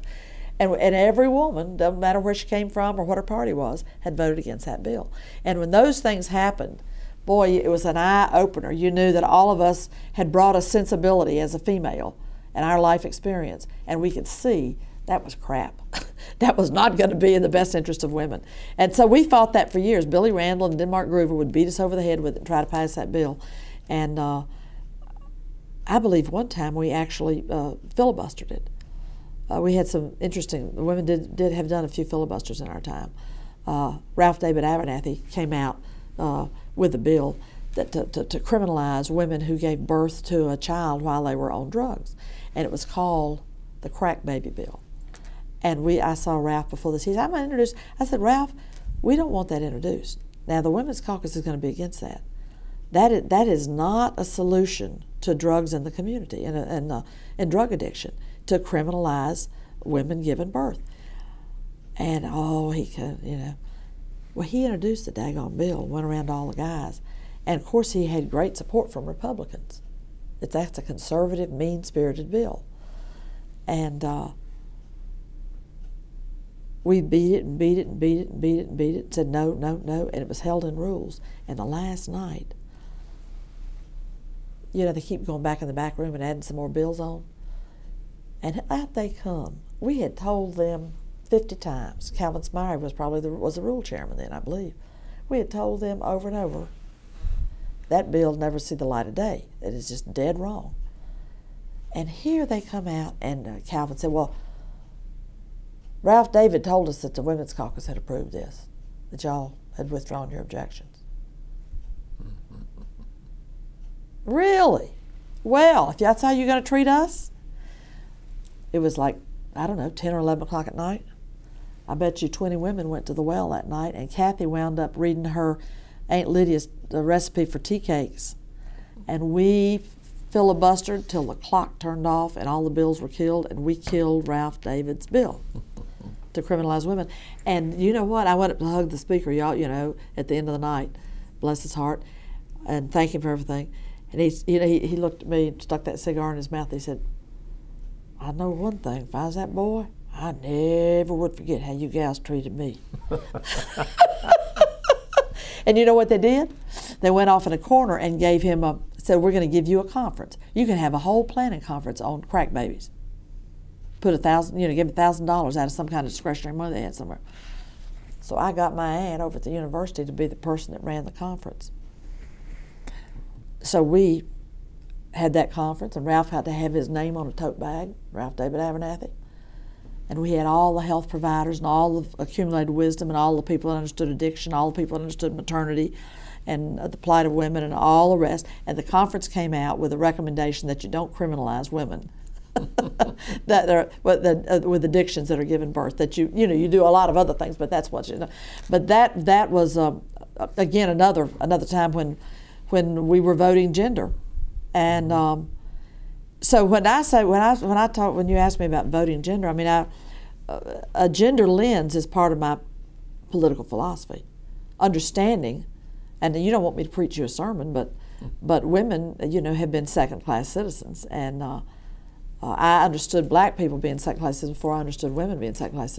But there are many many many, many, many, many, many, many parallels, and it's true across the world. And now, thankfully, we've come made grand strides to the point where uh, the uh, United Nations and all the big development groups understand that if you want to transform a society in these third world countries, you empower the women.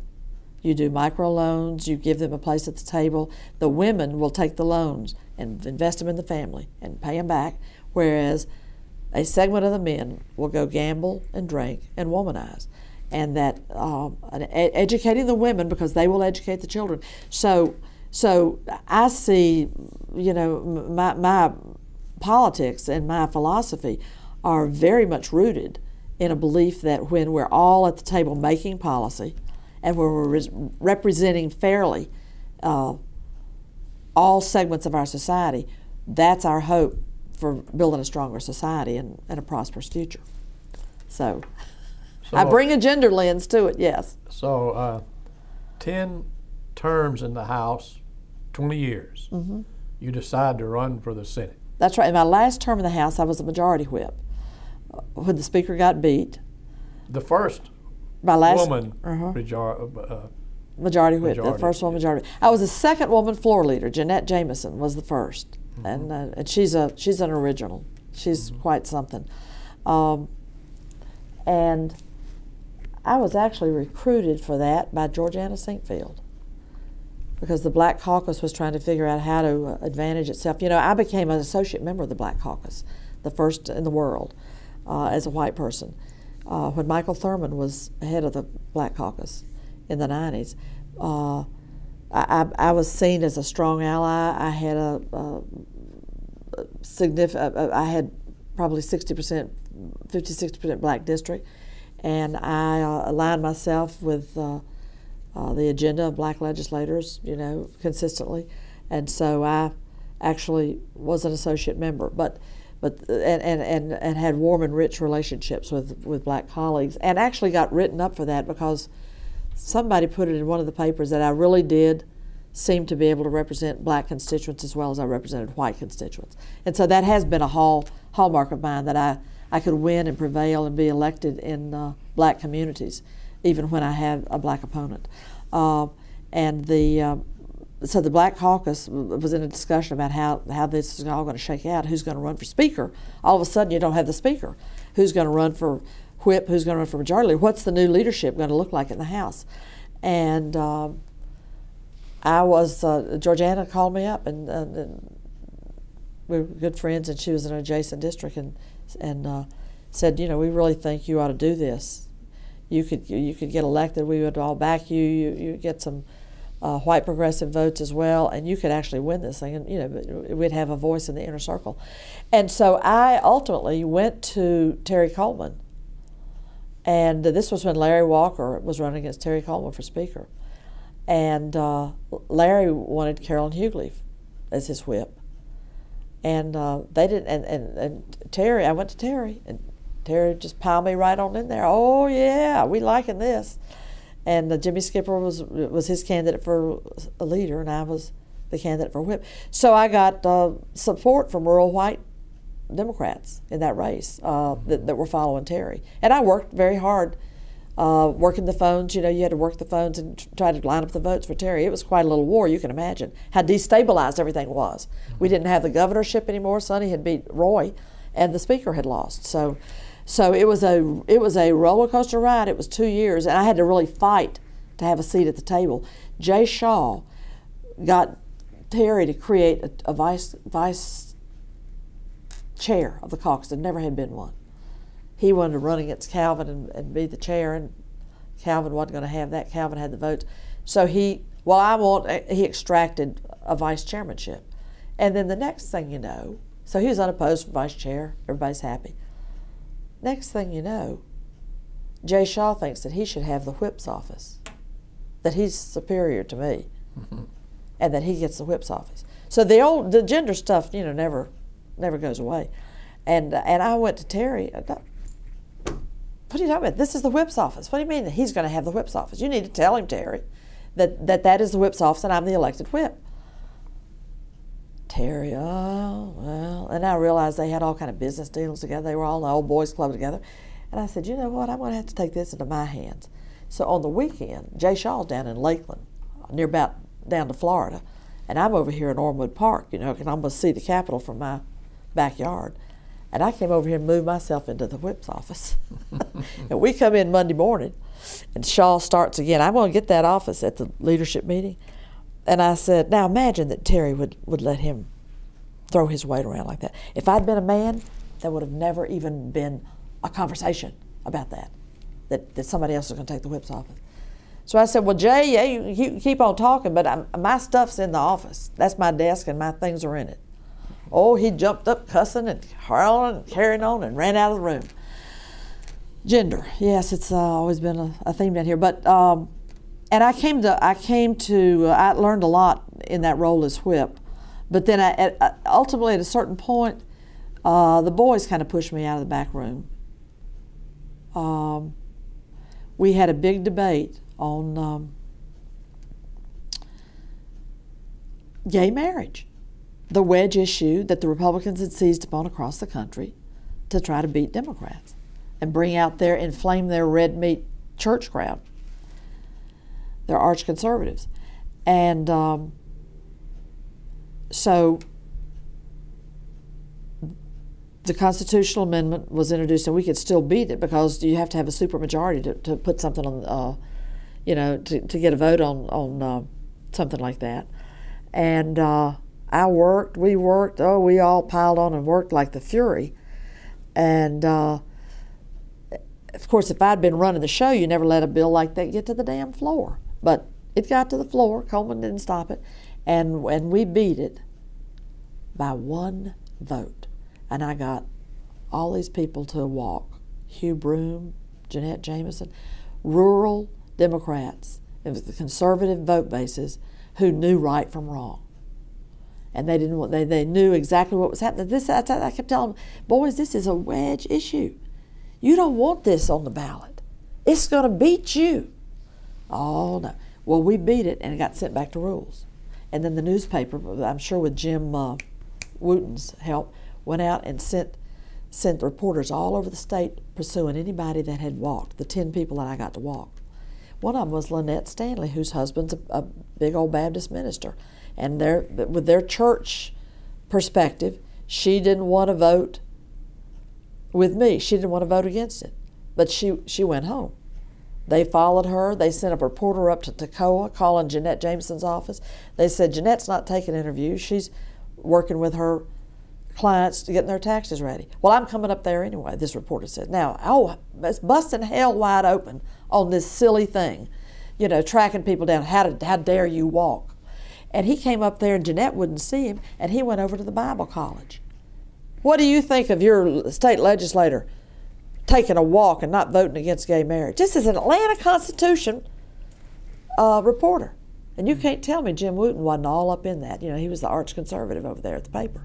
And they put, put a bullseye on everybody that had walked on that bill. Hugh Broome from way down South Georgia, precious man, wonderful man.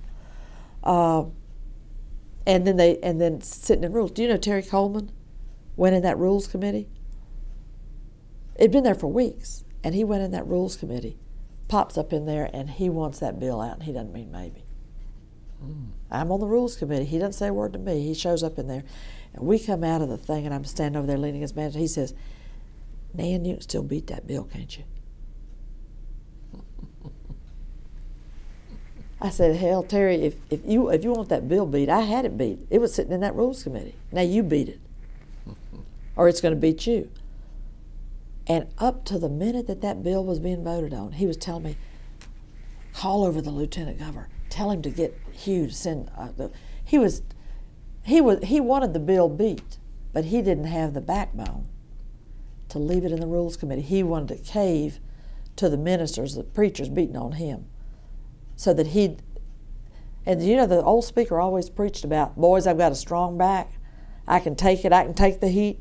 I'm gonna i'm gonna i'm gonna protect you. You can count on me now. I'll take the heat. I've got a strong old back and it won't be and i'll just stand up. And he and he, and he did. He would take the heat hold a bill. He'd hold these anti-abortion bills you know in the in the uh, jim martin's uh, judiciary committee.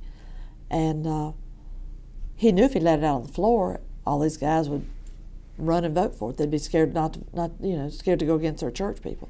So Terry wouldn't do that. He went running up there and got that bill out, and then told me to beat it. And um, I told him, I said, "You're gonna regret the day you did this." I, I, I said, "I'm telling you." The right wing church people are going to come out and beat you all in South Georgia. They are not going to touch Nan Orrock up here in Atlanta. I don't have to worry. I can vote pro gay till hell freezes over. I've got the biggest gay population in the state in my district. Jimmy Skipper said, No, you're wrong. Nan's wrong. She's wrong. He said, This anti gay marriage on the ballot will bring out the black church people, and they'll turn out huge numbers to vote for it, and they'll vote for us. I said, Jimmy, you're dead wrong. I said, Do you know it's funny? There's not a political analyst in the United States that agrees with you. Come election day, they went down one by one by 50 votes, by 100 votes, by 25 votes, 200 votes, all across South Georgia. They lost the House because of that being, being obdurate you could call it stupid, you call it what you want to, you know, but to, to not see that their own political uh, survival depended on putting a firewall on those wedge issues. But when we came back in, after that election, we had our first caucus meeting. Guess who they're all mad at?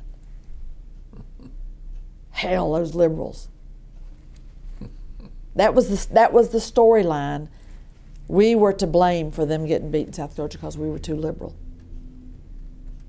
So that's when DuBose became uh, majority leader and Carolyn became the whip. Minority, minority whip, minority leader. And then um, uh, the Senate seat. So you saw all up. that coming? Oh, I preached it till I was blue in the face. Mm-hmm. But they had they had uh, they had worked successfully, I think, by that time to to marginalize me. I guess I wasn't I wasn't smart enough to figure out how to not get marginalized within that group. I mean, the Republicans would even come in and say, "We don't want to meet with her." When when old Lynn Westmoreland and uh, uh, that boy from Brunswick, what's his name? Jack St. Simons. You know, he's left now. He was a big henchman with with Glenn Richardson. I mean, he just he just left. He's uh, he's uh, now a lobbyist. Uh, what the fool is his name? Jerry. Mm. He ran and got uh, he ran and got a seat down there. He moved from Cobb County down there. He was the head of the Christian Coalition for the state of Georgia. Why can't I think of his name? he just left. But that was his job. That was his paying job before he uh, ran for the legislature. Jerry. He's he was he was majority leader under Glenn Richardson.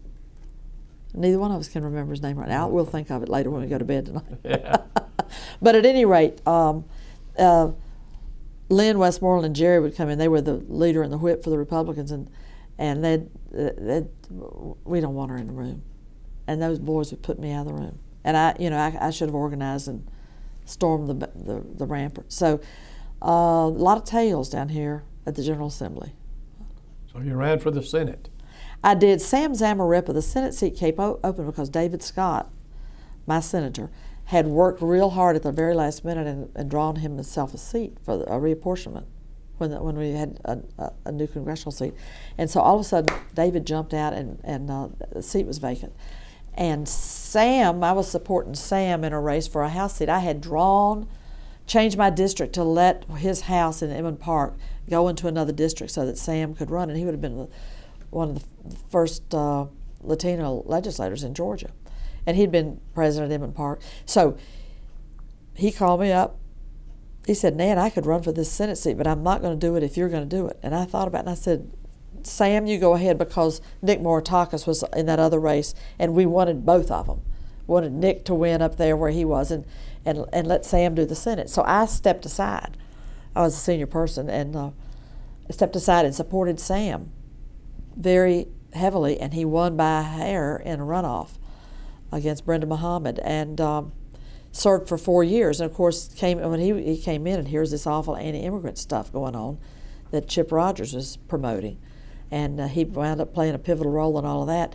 And he called me one night. I was in a restaurant hosting some people from Russia, some Russian visitors at some organization had here in town, and he called up and said, "Nan, I'm not running again." I, he it just had played out for him, and he was going to pursue more business opportunities. So all of a sudden, and I'd had, I had four years to think about it, to get, you know, prepared to go ahead and, and not be a stick in the mud and make the move. And it's a much larger district; it's three times the size, and it goes all the way up to Lenox Mall and all the way down to the end of the city. But it it brought me back to all the people that I had represented before they reapportioned me over into DeKalb County. So. Uh, I ran a hard, hard race against Grace Davis, who had been in my freshman class. Hard race. When we tested the waters and did the first polling, we had we were neck and neck on uh, name recognition, and that's because there'd been so many Davises in uh, local politics. Mary Davis, Myrtle Davis, wrote lovely, renowned uh, women leaders, and up there in Morningside, where Mary Davis had been their council member for 26 years, they all said they were for Grace Davis because that's who they thought it was Mary. Uh, so I had to run a really hard race and spend $175,000, unheard of, to get to win that Senate seat. But I was heartened by my victory. Mm-hmm. I took over 60%. And then came into this august chamber of the Senate, just as Casey Cagle got elected. Mm-hmm. The first Republican governor and lieutenant governor in the history of the state. Mm-hmm. So. Which did you enjoy more, the House or the Senate? You know, I actually enjoy the Senate more because um, it is a smaller body. And you have more collegial relationships because it's so small you really can know know everyone have some kind of connection with everyone. I was always amazed at people that came down here and served. And somebody be over in the house and stand up making a speech and they'd say who is that I say, my God, don't you know he's a chair at Banks?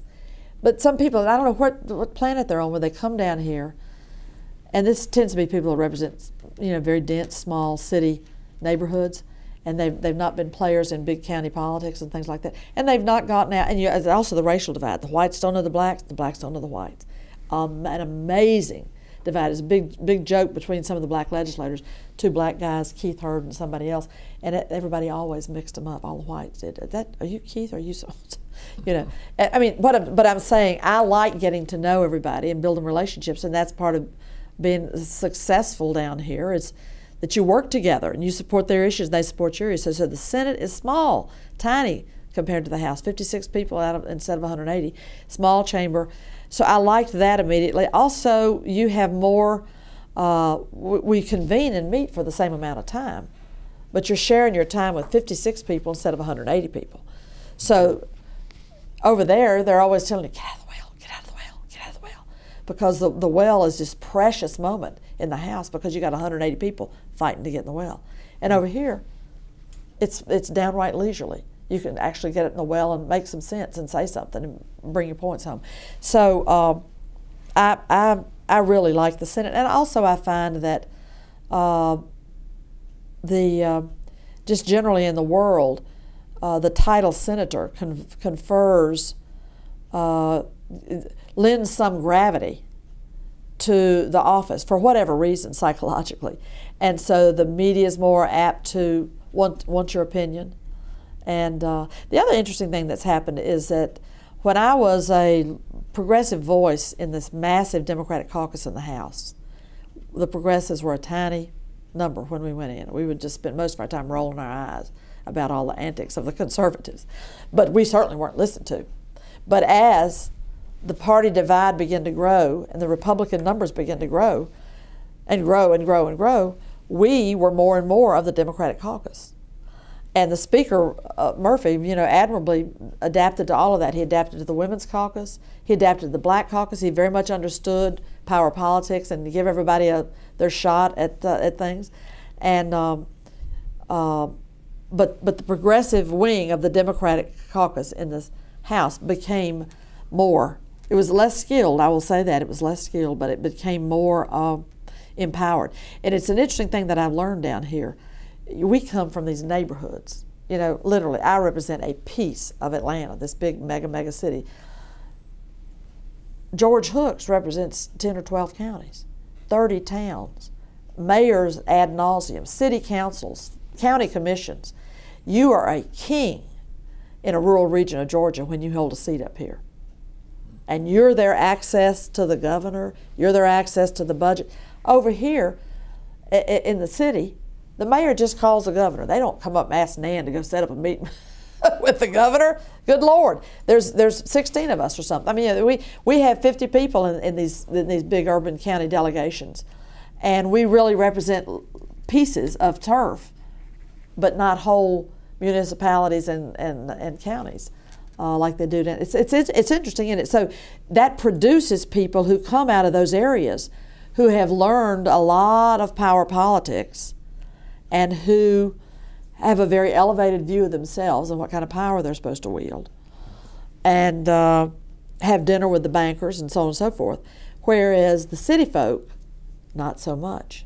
We come out of neighborhoods, and we didn't. we don't come out of the big, the it, with, with with some exception. You don't come with as much experience in local government and uh, and politics, mm-hmm. because I would always sit around. Why are we so far behind? Well, one thing is those guys are, are kingmakers who lord it over six and eight and ten counties and are seen as that and see themselves as that. They come up here and they, by damn, they expect and they get what a king deserves. Let's talk for a minute about your district. Uh huh. Extends all the way from what Fairburn to Roswell. It's, it's all in no, it's all inside Atlanta. It doesn't have any Fairburn or Rosburn or Roswell or any other city in it. It's only Atlantans. It's Atlanta voters uh, within the Fulton County limits. Mm. So it, it doesn't go any further north, it goes up to Lenox. Mm. Uh, and then it comes all the way down to the city limits of Atlanta on the south side. It takes in downtown.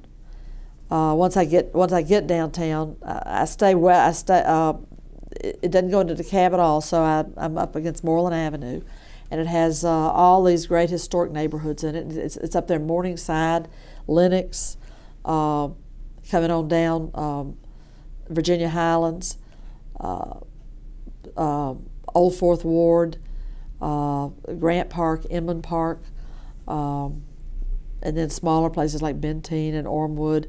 And it, it had uh, an enormous number of housing projects in it and also millionaire mansions in the Inman Park area and, and you know some very very high pricey real estate up near Lenox. And it's changed over the years, you know, because we've reapportioned, and this will be my third reapportionment. Plus, the reapportionment, but the, the, courts have done it in, in, in the in the interim between uh. So it's it's changed from time to time, but it's it's always been majority a majority black district, uh, and I've had very very poor people. I've had a high concentration of seniors, high concentration of gays, and there's a demographic that you may not have heard of, but the folks that do the social science and do the polling across the country. They have all the electorate sliced and diced into little demographic sectors. You know, black, male, veterans over 60, that sort of stuff.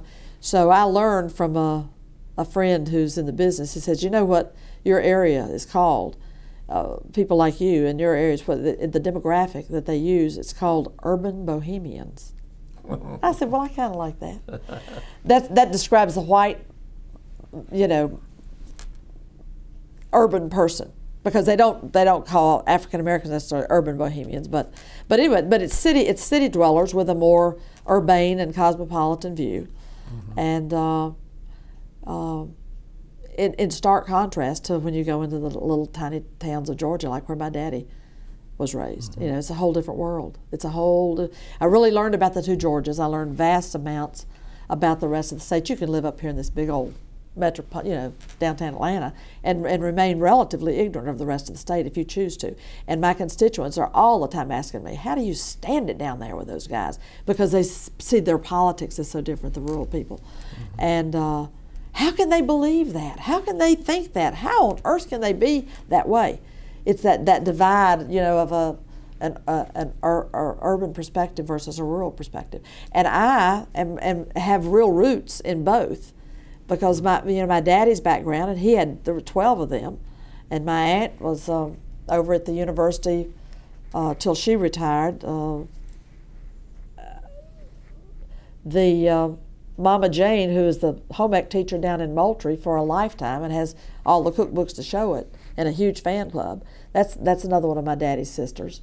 Uh, uh, Mitchell County, I've got first cousins down there. So John Bulloch, the agricultural chairman, thanks to Casey Cagle, I'm on the ag committee. Uh, they are, they do that a lot to women, by the way. A lot of agriculture in your That- district. well, well, the, it, it's it's a long-standing joke. It's a little private joke of the boys that they assign these girls to the ag committee. Now, it makes a lot of sense for uh, somebody from Epperson County maybe to be on the ag committee, but they did that to LaNett Stanley when she got over there when we were elected. Uh, I've I've run into so many women that have gotten assigned to the ag committee. They go ag committee. So Casey Cagle sent me a, a word when he assigned me. He said. Uh, that says, says- the lieutenant governor said tell you don't be offended by that because it's agriculture and consumer affairs and you could really build up that side of the committee the consumer affairs side of the ag committee but actually i was astonished that um, the urban horticultural industry came racing to me. Hallelujah! We need we need people from up here in, in Atlanta to be on that committee. We have all these issues. You, you never would have thought would at first blush. I mean, they just came out in droves, and of course that was you know we were engaging in a drought. And what were going to be the policies around the people that grew the shrubbery and laid down the shrubbery, the landscape, and all that stuff. So it's it's it's it's, it's interesting, and, I, and I've actually enjoyed that committee. But John Bulloch, our chairman from Deep South Georgia, always introduces me at the ag dinners down now my rural roots down in Mitchell County. You know, and my, that my my granddaddy's buried down at the Pebble City Baptist Church, George Washington Grogan, and then my my great uncle uh, Stonewall Jackson Grogan is up there in uh, Forsyth County. They both left. Oh Lord, when my daddy was six, so in the early twenties they left uh, uh, up there.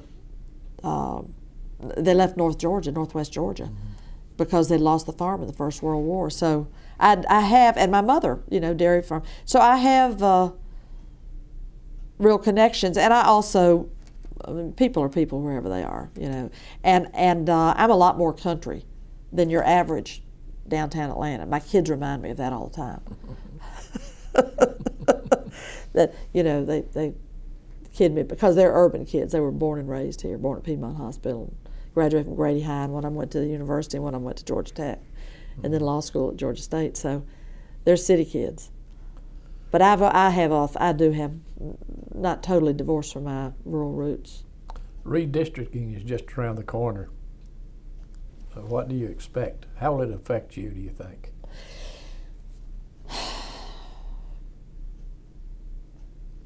you know, it's it's a crapshoot. Nobody knows what to predict. They will. I'm in a I'm in a majority black seat, and the Civil Rights, the Voting Rights Act, prohibits watering down black seats, majority black seats. What they can do would be to combine me. They'll they'll try to combine us, and put me with Jason Carter, who's Jimmy Carter's granddad that just got elected. He's a wonderful grandson. Just he's a wonderful guy, by the way. He's a great addition to the Senate. He just we, he, we were just down in Plains last week. He he had us uh, the Democrats down to uh, and I stayed at Miss Lillian's Pond House. It was it was it was great. Boy, and Plains is just a wide spot in the road, is all it is. But um, they could try to combine me and Vincent Fort, or you know, in other words, that's the oldest game in the book is you put incumbents together and let them fight it out, and uh, so that that could happen. Uh, we have a Justice Department presided over by a Democratic president uh, that's going to be much more uh, give much more thoughtful oversight to shenanigans down here. Um, it's likely to wind up in court. And the last time it wound up in court did me no good. They took a couple of my house and a couple of precincts, the court did, and hooked it on to South DeKalb precinct. All these people I didn't know, they didn't know me, didn't give a kitty about me, and put me in another political universe, you know, DeKalb County. Uh, and I represented that for, for four years, but it was never felt like a good fit. I mean, I was divorced from all these neighborhoods, these in-town neighborhoods up and down the east side of Atlanta that, that I represent. And I represent a big, healthy population in downtown Atlanta, too. By the way, you know, we've, now we've got all these pioneers down there. There are thousands of people that live downtown, have their own neighborhood association, their festivals, and, and a lot of issues around uh, uh, public safety and uh, quality of life. So it's a, I mean, a, I'm a perfect match for this district. They should leave me right where I am. um, and, uh, you know, if John Lewis hadn't been in Congress, I would have made a run for Congress at, at some point. But he ran for Congress when I ran for the House seat. We were, and Julian, he and Julian Bond ran against each other. And I was so unaware in those days. I was so naive. I had a picture of me and John somewhere doing something, grinning at the camera probably. And I had it, so I said, let's put this in my campaign brochure. You know, you're doing your first campaign brochure. Boy, when that thing got mailed out, Julian called me up. Nan, what in the world are you thinking about? Can you believe how how ill-advised I was to not even to, I mean you, you, know if you had any political instincts at all you'd know you, you, you stay away from that cat fight like a nobody's business. So I had to do a, you know huge apologies and include a picture of Julian on my next one, and then I would go around with both of them to campaign parties, and they both endorsed me, you know, and I stayed out of their race, uh, and the rest is history. But um, so John's been there as long as I've been over here at the General Assembly, mm-hmm. and a dear friend. Uh, but as I say, I was always interested in going to Congress, and you know, my job, uh, if you're if you're not fortunate enough to be independently wealthy or have somebody else winning the bread in your house, you've got to work to, uh, to augment this income down here. Mm-hmm. And uh, and I I worked uh, with the non with I've worked in the nonprofit sector. I ran a foundation that that gave social change grants in Georgia and the Carolinas. So I, I knew a lot of rural Georgia people because of that because we made grants there for years. But then when I uh, left that job and uh, I was I, I, took a job with a national organization that and my job is to organize women legislators around the country into a network and and uh, and and help train them to be real effective legislators and to ma- master media and their message and also to uh, weigh in with Congress on uh, nuclear weapons and military budget spending. Some very esoteric topics that most people never pay any attention to. But when you want to rob a bank, you when you want money, you rob a bank. Well, if, if you want money from the federal budget, you better get over there at the Pentagon and get some of the money out of there. But that's what I get to do the rest of the year when I'm not in session, is uh, work with women legislators. Uh, so it's a it's a wonderful, it's a wonderful fit. So I hear the similar tales from all around the country. And I and I work on a lot of national they're, they're national organizations, you know, that that seek to give legislators resources to do policy work, like the National NCSL. And so I serve on a lot of their governing bodies and do a lot of that kind of work as well on policy. I'm a, I'm really a boring policy wonk who sings country music. well, if you had to sum up Nan Orrock's political career, what would you say?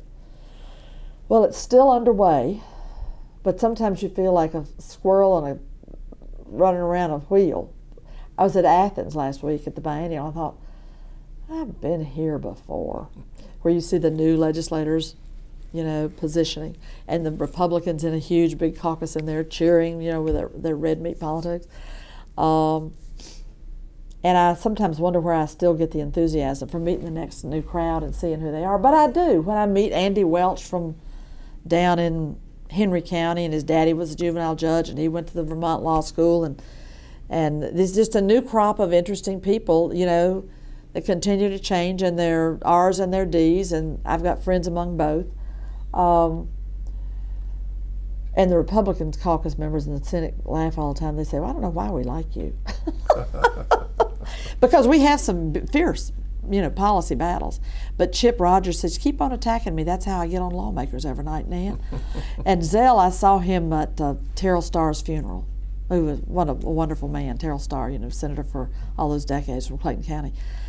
And uh, wouldn't even know you, but if you came to him with a human services issue for the budget, he'd do the best that he possibly could. He was a wonderful asset down here. Went to his funeral saw Zell, and Zell said, Nan, I tell you, I'm up there in Young Harris. He said, I every night my dogs and I lay down on the floor and I turn on that TV and I look up there as Nan Orrock raising hell. he got a big grin. I said, Well, Zell, you know who taught me everything I know, don't you? so how I would sum my it's not over yet. Um, and um, I don't know that I will last long enough to see the Democrats take back over. Um, I, I know I've made a difference here. We organized a Working Families Caucus. I told you I, I like to work in groups. And that's, I was all tied up with the, getting the press thing out tomorrow because we're going to weigh in on immigration. Another divisive wedge issue uh, that could go off the tracks. And be bad for Georgia's economy. So I'm talking to people in, in the agricultural community, people in the manufacturing community, uh, the folks that raise chickens, pluck chickens, and fry them up and sell them, chickens, uh, you know, Chick Fil A and all the rest, uh, and the hospitality industry because we've got to we've got to be reasonable and uh, show some wisdom, justice, and moderation, as our state seal says, around immigration. We don't need to run our economy in the ditch by becoming another Arizona. So I'm working on that now. So my energy does not flag. I'm, I'm sure I will transition into the afterlife of a non-legislator one of these days, but it's uh, it's not it's not it's it's not a ride that I ever had planned. Never knew this was what was waiting for me. Uh, and I thank, you know, I'm very, very appreciative to other people who urged me to do this because it, it turned out to be, uh, in many ways, a great fit. Uh, uh, one of my sons is very involved in public policy now, and and my brother was up here as the, one of the lobbyists for the teachers, the GAE, and my son was up here advocating for consumer watchdog issues with Georgia Watch, and I was up here in the legislature, and we all laughed. We'd run into each other going around the corner and say, and say you know, Granddaddy sure would get a kick out of this. Mm-hmm. Uh, so it's not a, it's not a path that I planned, but I've I've I've given it my all and tried to remain honest and authentic. And I still am working at, uh, I believe it was FDR that said uh, when you speak to be, uh, be authentic, and be brief, and, and, and, take your seat. And I, I'm, I don't do so well on that being brief part. I'm still working on that.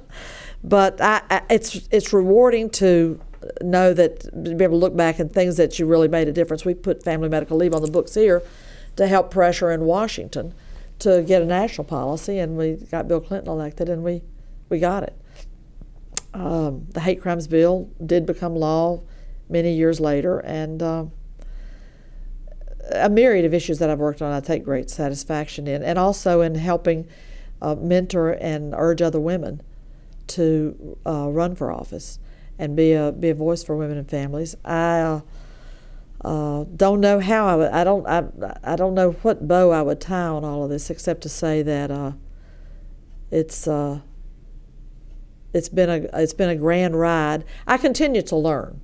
I continue to learn, and I continue sometimes to be amazed at the venality of some people, the cravenness, uh, and the uh, good to the bone idealism of, of other people you know, people are endlessly fascinating, and uh, that's a good. If you find people fascinating, that's a good thing to take with you into into the political world because uh, being able to connect. Everything's about relationships, and um, I I, I, I tend to always think I could have done a little more and a little better, but I may be being too critical of myself. I've, I've, I've made a difference and uh, put in place some things that will be here beyond me. And I, and I said they could put on my tombstone that I am responsible for launching the Georgia Budget and Policy Institute. I serve on a, a board, Sapelo board, uh, which is Reynolds money, tobacco money, and, the, and most of the generations beyond uh, Richard Reynolds have done a lot of good things with their money, and I'm happy to be on their foundation here in Georgia. And I got them convinced that we needed a budget and policy analysis that was independent of government, that could be an independent voice. And uh, got Ford Foundation to come down and talk to them. And so they, uh, they appropriated the money, made a long term commitment, and we launched a process. And now we have an institution here called the Georgia Budget and Policy Institute that Alan Essig runs, and he used to be the head budget person under George Hooks for the Senate, so he knows the budget backward and forward. And um, I was never on its board or anything, but I was the genesis of of putting that in place in Georgia and helping raise the money for it. And it's making a difference. We beat the, the uh, Speaker Glenn Richardson's great tax, where he was going to do away with property tax. That institution got out all over the state and worked with local officials to help them understand that bill and how dangerous it was and what it would do to local budgets and schools. And uh, went to every media market and uh, sat with every editorial board. And so I do view that as a huge accomplishment of mine, and it's rooted in belief that you build institutions that will be in place, and the people, the faces can change, but the the um, institutions being there for future generations to help make a difference. So then that that I cite as as a contribution. I always jokingly say, y'all can put that on my tombstone. well, you've certainly had a brilliant career. Oh, well, you're kind. and we appreciate very much your being with us. Happy to do it, and uh, and uh, happy to be. A, there's something satisfying about being a part of Georgia's history because my daddy was just a Georgian to the bone and came out of the era when they taught every school kid. You could say the 159 counties in your sleep, right? Uh, and the county seat as well. And he'd recite all those to us. And and uh, he did all of his brought all of his farming and everything up to Virginia, and always had a great big old garden. We always ate out of the garden, and uh, loved gardening. And when when he died, we covered his his uh, coffin with a magnolia uh, branches that he had brought up from Georgia and planted, and we'd go out there and knock the snow off of it with his little broom to keep that magnolia tree alive up in Virginia. And uh, so uh, it's uh, I, I, love being a part of Georgia's history. It's I've, very rooted in my um, my love of the South and being a person of the South and being part of a, the sweep of history. There's a great progressive legacy in the South that often gets covered over and not understood. Uh, and there's a, also, I mean, I fight for social justice, and that that is a mighty current that flows through the centuries of our collective human history. And so I feel uh, that I, I mean, I'm, I'm very proud that I stayed in the struggle. I joined in, I jumped in the current of social change, and have done the best I knew how to do in this special role as being part of the lawmakers of Georgia and part of the 1,800 women nationwide that sit in uh, House and Senate chambers. Um, that I've worked to see some good stuff happen and see some good people come to the fore and been been a part of something that'll go on beyond me, and that's working for a, uh, a progressive society. Thank you.